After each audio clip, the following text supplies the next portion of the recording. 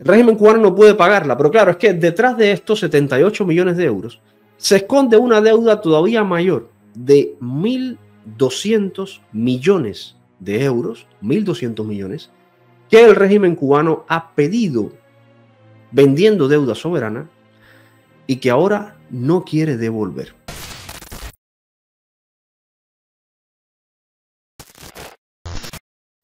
El fallo del Tribunal de Londres pone a Cuba entre las cuerdas con el pago de deuda millonaria. Como ustedes saben, el régimen cubano, que en efecto, por eso le digo a León que suba para ver algunos datos que creo que no domina, eh, el régimen cubano ha contraído una deuda a partir de venta de, de deuda soberana. Esto es terrible. Terrible porque la deuda soberana la tienen que pagar todos los cubanos. Sin embargo, el beneficio de esta venta de deuda soberana no ha ido a parar a todos los cubanos, ha ido a parar a una institución que es el Partido Comunista de Cuba. Acá comienza, ahora sí, la, la batalla fuerte. ¿Por qué? Porque el Tribunal de Londres acaba de emitir un fallo, básicamente le ha dicho, no, tu apelación no vale, tú tienes que pagar y el fondo CRF sí es el verdadero acreedor de la deuda. Y ojo, porque estamos hablando de una deuda de apenas 78 millones de euros que el régimen cubano no quiere pagar. 78 millones de euros para la economía de un país tampoco es que sea eh, un dinero descabellado.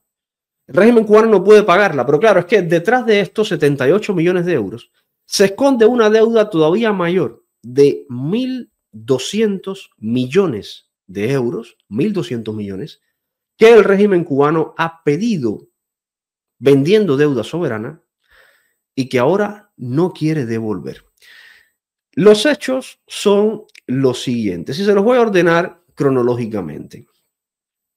El origen de esta deuda data de 1980. En la década de 1980, el Banco Nacional de Cuba, ¿de quién es propiedad el Banco Nacional de Cuba? Del Partido Comunista de Cuba.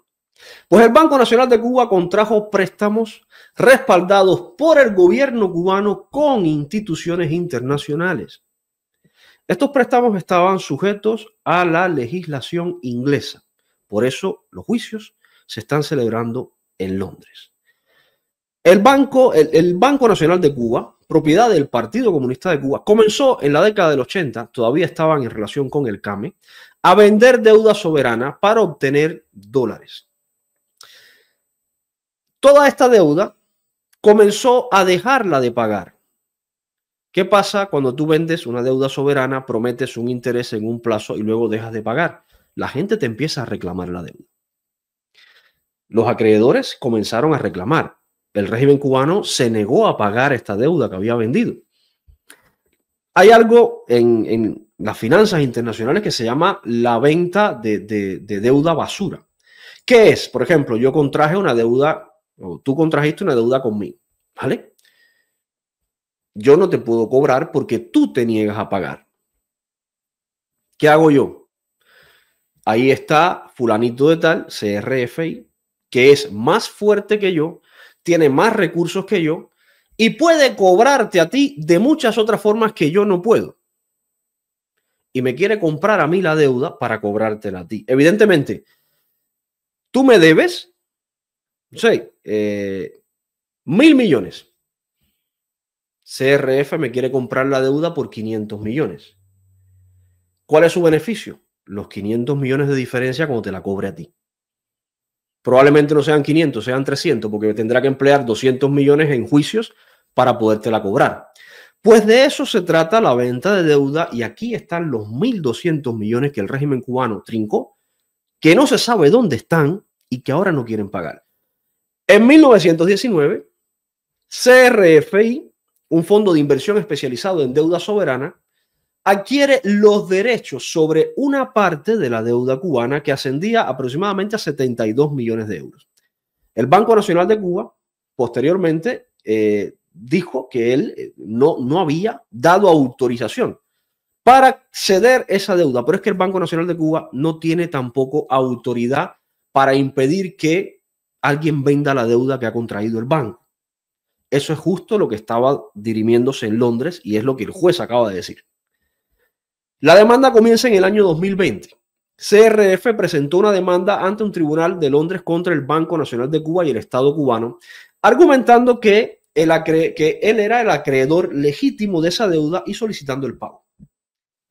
El Banco Nacional de Cuba, bueno, en este caso el Partido Comunista de Cuba dijo que no, que el Banco Nacional de Cuba ya no era de ellos, que nunca había sido y que además que ya no existía.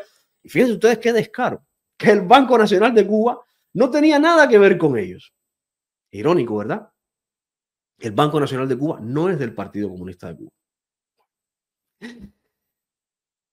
En el año 2020 comienza entonces la demanda. CRF presentó la demanda en el Tribunal de Londres contra el Banco Nacional de Cuba y contra el Estado cubano que era el dueño del Banco Nacional de Cuba, argumentando eso, que tenían que pagarle el dinero. La audiencia se realizó en febrero de 2023, la audiencia inicial en Londres. Todos la vimos en directo, ahí vimos a un brete que fue a cubrirla y todo esto. El Tribunal Comercial de Londres inició las audiencias para determinar si realmente el fondo de, inversión CRF era el verdadero acreedor de la deuda la defensa del, Banco Nacional de Cuba, del régimen cubano, dijo que, que, no, que no era CRF el verdadero acreedor y que el Banco Nacional de Cuba ni siquiera ya existía y que el Partido Comunista de Cuba no tenía nada que ver con esto, que esto había sido una estafa de alguien que pidió el dinero, que no, el cuento de los comunistas. Durante el año pasado y este año, el Banco Nacional de Cuba presenta una apelación diciendo que eh, la cesión de la deuda, es decir, que CRF compró la deuda de manera irregular, y que eh, además los préstamos que dio el Banco Nacional de Cuba habían sido también dados de manera irregular por Raúl Olivera Lozano y que él no tenía autoridad, es decir, la venta de esta deuda soberana la hizo una persona, Raúl Olivera Lozano, y que no tenía autoridad para hacer algo así. Apelaron y la decisión acaba de salir. El Tribunal de Apelaciones de Londres rechaza el recurso del Banco Nacional de Cuba y del régimen cubano y le dice al régimen cubano, a Canel, le dice, no, tú eres el dueño del Banco Nacional de Cuba, aquí todo se ha hecho correctamente y ustedes tienen que pagar. Pero cuidado, cuidado, no tienen que pagar los 72 millones solamente. El problema es que el monto de la deuda asciende a 1.200 millones. 1.200 millones de deuda soberana. Por ahí está Renelio Marín, está de fiesta abajo en el, en el backstage. 1.200 millones que se ven obligados a pagar. ¿Y qué pasa con esto? Probablemente nunca puedan pagar 1.200 millones, ni siquiera los 78 millones, pero ojo porque el resto de inversores a nivel internacional está mirando. Y claro, Ahora mismo ellos están diciendo turismo, vengan, inversores en turismo, vengan, cartera de inversión extranjera, vengan. Pero los inversores están mirando que hay un juicio en Londres donde esta gente debe 1.200 millones y probablemente sean embargados otra vez. Embargados otra vez, ¿qué significa? Que ese juez de Londres, ese tribunal de Londres les va a decir, ustedes tienen que pagar. Y a partir de ahora, cualquier centavo de euro que entre en sus cuentas bancarias va a ser sacado y entregado a CRFI. ¿Esto qué va a provocar? Que esta gente ya no es que no tengan dinero porque hayan quebrado el país, sino que no puedan acceder ni a créditos ni a financiación como los créditos del Club de París que llevan décadas otorgándole. Porque cualquier línea de crédito o cualquier tipo de financiación van a quedar embargados por ese juez y entregados al fondo para cubrir los 1.200 millones de deudas soberanas. Es decir, esto es como la tapa al pomo, cerrado, totalmente a la quiebra del país. Ojo, aquí no estamos hablando de que el tribunal de Santi Espíritu te condenó a pagar 1.200 pesos. No, no, no. Aquí estamos hablando de la principal corte que se encarga de estos juicios a nivel internacional. Estamos hablando de donde va todo el mundo a decirle, señor juez, tengo un problema. Ahí en esa corte se dirimen este tipo de casos y esto tiene alcance internacional. No estamos hablando de Pedrito el Cojo que dijo, quítenle ahí la cuenta a Canel. No, no, estamos hablando de una sentencia firme que puede derivar en otro embargo más, pero ya no al Banco Nacional de Cuba, porque el Banco Nacional de Cuba no existe. cerró. Ellos lo cerraron precisamente porque tenía deudas. Embargo, ¿a quién ahora mismo? Al Estado cubano. ¿Y quién es el Estado cubano? El Partido Comunista de Cuba. Todas las cuentas de todos los testaferros, de todas las instituciones, de Gaesa, de Gaviota, eh, de, de toda esa gente, a partir de ahora pueden ser perseguidas en cualquier sitio del mundo, confiscadas y vaciadas por un juez. ¿Qué les parece? Y tú dices que la revolución avanza. Ríete de que la revolución avanza. ¿Para dónde avanza? Si esta gente está más en quiebra que el imperio romano cuando cayó. De aquí no salen. No pueden producir azúcar, no pueden producir absolutamente nada. Y encima, ya no es que Estados Unidos los tenga bloqueados. No, no, es que ahora mismo la Corte Internacional les acaba de decir si no pagan los embargos. A ver si dicen que esto también es un bloqueo ahora imperialista de Londres, ¿no? El bloqueo imperialista de Londres que ahora los va a bloquear también. El Tribunal de Apelaciones rechazó el recurso presentado por el Banco Nacional de, Cuba y por el régimen cubano en su litigio contra el Fondo de Inversión eh, CRFI. El fallo de ahora de este rechazo confirma que en efecto CRF es el acreedor legítimo de la deuda soberana cubana. Es decir, ese Partido Comunista de Cuba, y esto es súper interesante, a ver si Moisés comparte este pensamiento. Deuda soberana. ¿Qué implica la deuda soberana? Que tu soberanía es propiedad de otra persona. Ese Partido Comunista de Cuba que te está diciendo que no queremos el enemigo imperialista porque queremos una Cuba libre y soberana, y ese mismo partido ha metido, ha comprometido la soberanía de Cuba, la ha vendido a capitalistas extranjeros. Y ahora el fondo CRF es el dueño de una buena parte, nada más y nada menos que de 1.200 millones de euros de la soberanía cubana. Escucha, comunista. Los mismos que te dicen que qué terrible el capitalismo y que quieren una Cuba soberana, ya desde la década del 80 ya habían vendido esa soberanía. ¿A quién? A los capitalistas. La Corte determinó que el Banco Nacional de Cuba, en efecto, es el, que vendió la deuda y que el proceso de venta de la deuda fue adecuado, no hubo fraude en la venta de la deuda. La jueza eh, dijo que, bueno, ustedes vendieron una deuda con respaldo soberano, se las compraron estas personas, estas personas llevan décadas intentando cobrarle a ustedes esa deuda, no han podido porque ustedes no han querido pagarla, por las razones que sean. Ahora mismo CRFI ha comprado esa deuda y se las está reclamando y los ha traído a esta corte. Y esta corte dice que ustedes tienen que pagar. El Banco Central, el Banco Nacional de Cuba argumentó que la cesión de, derechos de la deuda eh, no era, no estaba bien hecho, que el señor Raúl Olivera Lozano había cometido una especie de irregularidad, que no había pedido permiso para ceder eh, la deuda. La realidad es que la jueza dice que no, que la deuda, aunque ese señor la haya firmado sin darse cuenta, ahora CRF es el dueño de la deuda y ustedes, los comunistas cubanos, están obligados a pagarla. Y es gracioso, es gracioso porque eh, llevamos tiempo eh, Damas de Blanco, ya sabes lo que te pasó. Hay un perfil de, otro de los perfiles que se llama Damas de Blanco, que te lo dije la otra vez, te puse el enlace y saliste corriendo y te desapareciste y te dije, cuando vuelvas a entrar, te vas bajando. Ahí estás. Pues decía, la deuda tienen que pagarla. Y la jueza dijo que tienen que pagarla.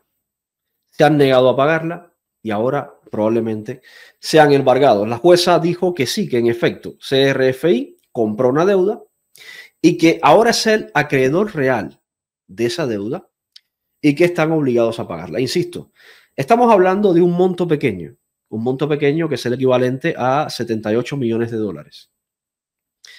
Pero el monto total, Sí, lo que reclama ahora mismo CRF es esos 78 millones de dólares en este juicio.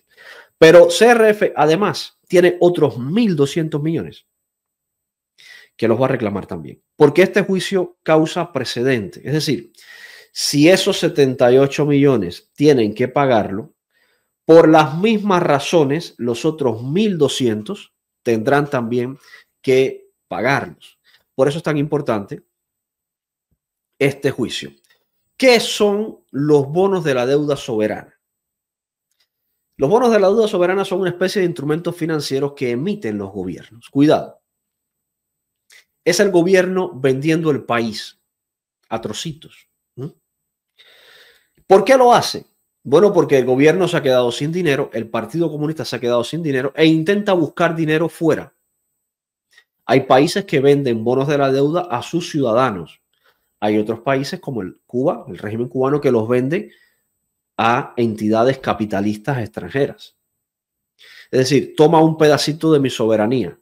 En 10 años yo te lo voy a pagar con el tanto por ciento de interés. Los bonos representan préstamos que inversionistas internacionales, bancos, eh, personas jurídicas eh, otorgaron a Cuba, al régimen cubano, a cambio, pues tú te comprometes a devolverme este dinero con un interés.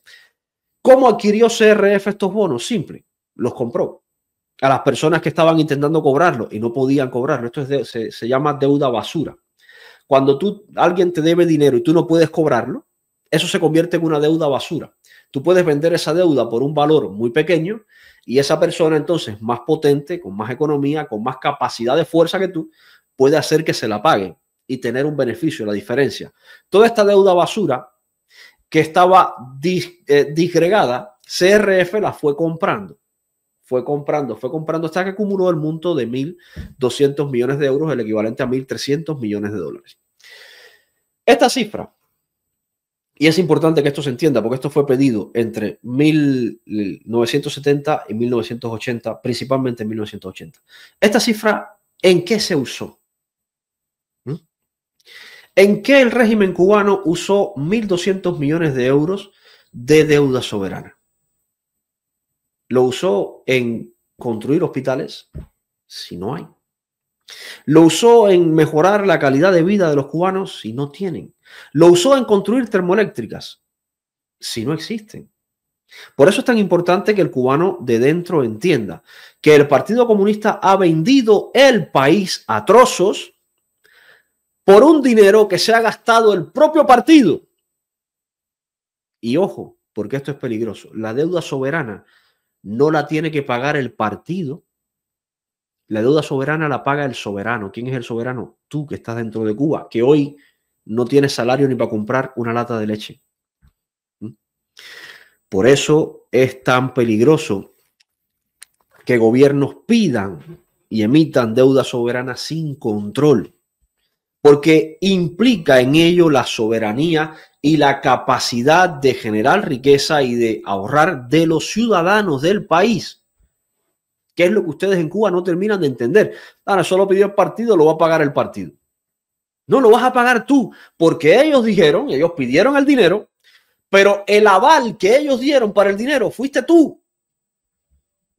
Por tanto, tú vas a pagarlo porque ellos no lo quieren pagar. Es como cuando tú te compras una casa y necesitas un cosigner o un avalista. Oye, banco, préstame el dinero para comprarme la casa. Y mira, si yo no pago, fulanito, es el que va a pagar. El banco te presta el dinero y tú te compras la casa. Y el día que dejes de pagar, el banco, si no te puede cobrar a ti, va a ir a tu cosigner y le va a decir, oye, tú firmaste que ibas a pagar, dámelo. Pues es lo mismo que han hecho esta gente. Te han usado a ti como cosigner de su fiesta y ahora ellos no pueden pagar, así que ¿quién va a pagar? Tú. Y esto es importante entenderlo, porque ahora habrán cubanos de dentro y de fuera diciendo, no, ¿cómo los cubanos van a pagar la deuda del Partido Comunista? Bueno, porque los cubanos permitieron que el Partido Comunista estuviera ahí y pidiera dinero en su nombre. Así que los cubanos lo van a pagar. Y mientras más tiempo tarde el Partido Comunista ahí, más se acumularán intereses de esta deuda y más dinero tendrán que pagar los cubanos de dentro.